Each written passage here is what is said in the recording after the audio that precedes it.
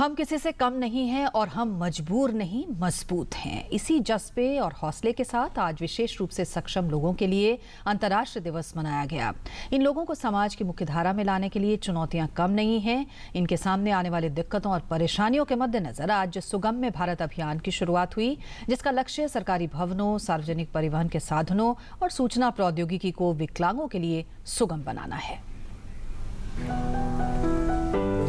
विश्व स्वास्थ्य संगठन के अनुसार दुनिया की 15 प्रतिशत आबादी विशेष रूप से सक्षम लोगों की है।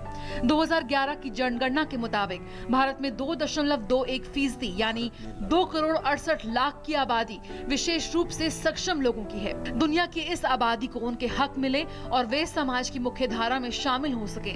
इसके लिए हर साल तीन दिसंबर को विकलांग व्यक्तियों के लिए अंतर्राष्ट्रीय दिवस मनाया जाता है। गुरुवार को इसी मौके आरोप सरकार ने सुगम्य भारत अभियान अभियान की शुरुआत की। इस अभियान का उद्देश्य 50 बड़े शहरों में विकलांग जनों के अनुकूल सार्वजनिक बुनियादी ढांचा बनाना है ताकि उनके जीवन को सुगम बनाया जा सके।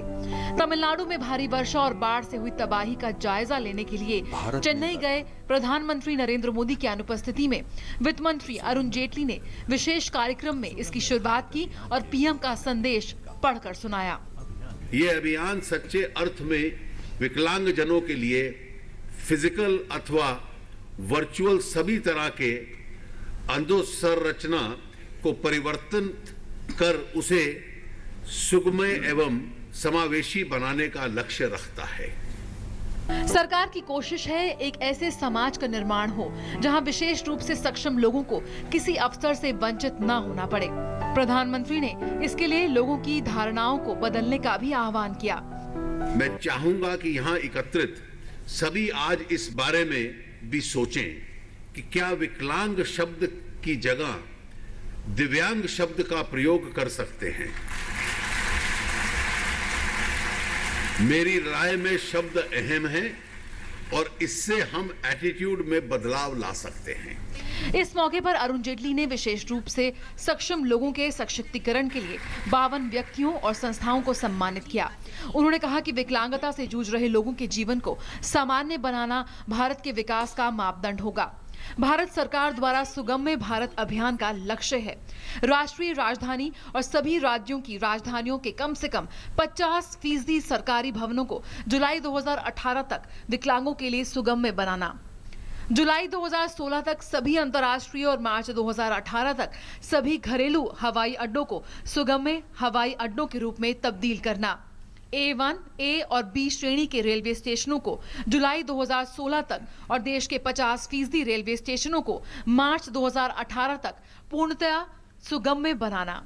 देश भर में कम से कम 10 फ़ीसदी सरकारी सार्वजनिक परिवहन वाहनों को मार्च 2018 तक विकलांगों के लिए पूर्णतः सुगम्य बनाना। इधर देश में पहली बार विकलांगों के लिए अंतर्राष्ट्रीय फ़िल्म महोत्सव का आयोजन भी किया गया। सिटी फोर्ट ऑडिटोरियम में आयोजित इस तीन दिवसीय महोत्सव का गुरुवार को पुरस्कार वितरण समारोह के साथ समापन हुआ।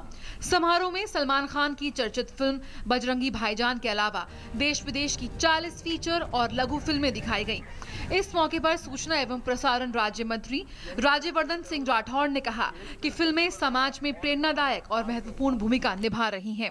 जो स्पेशल एबिलिटीज़ के ऊपर जो फ़िल्में बनती हैं, उसमें कई पहलू सामने आते हैं। एक उसमें से आता है कि कि आत्मबल और आत्मशक्ति से इंसान क्या नहीं कर सकता। ये जो फ़िज़िकल जो लिमिटेशंस हैं, ये पीछे रह जाती हैं। समाज का कोई ऐसा क्षेत्र नहीं जहाँ विशेष रूप से सक्षम लोगों ने अपनी उपस्थिति दर्ज ना कराई हो। इन्हें हमारी सहानुभूति नहीं, बल्कि विश्वास चाहिए और चाहिए आगे बढ़ने के अवसर और सुगम में माहौल। निशांत सौरभ और जया सिन्हा के साथ news night desk DD news.